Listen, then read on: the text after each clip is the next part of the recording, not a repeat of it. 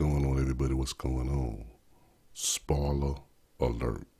So if you don't want the spoiler alert, don't look at it, don't listen to this right here. But the spoiler alert is this.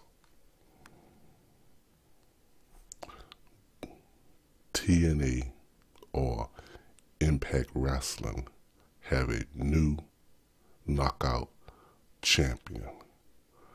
Tessa Blanchard had won the Impact Knockout Championship. You see it right here.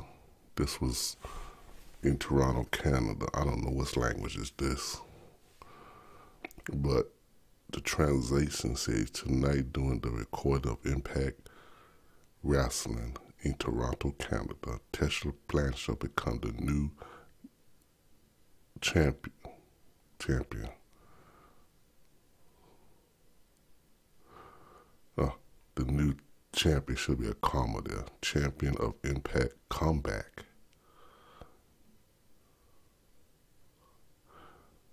Will be international televised within a week.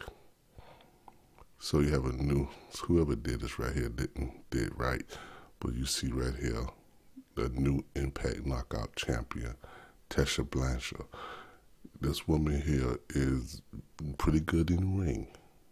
Everybody know who, if you recognize the last name Blanchard, yes, she is the daughter of legend, member of the Four Horsemen, Tully Blanchard. Um, don't ask me why this woman is not in the WWE in the so-called woman revolution. See, this is what I'm talking about. If you talking about women evolution, then you have some very good women out there who can wrestle. Why hasn't WWE have this woman there? So once again, a new Impact Knockout champion.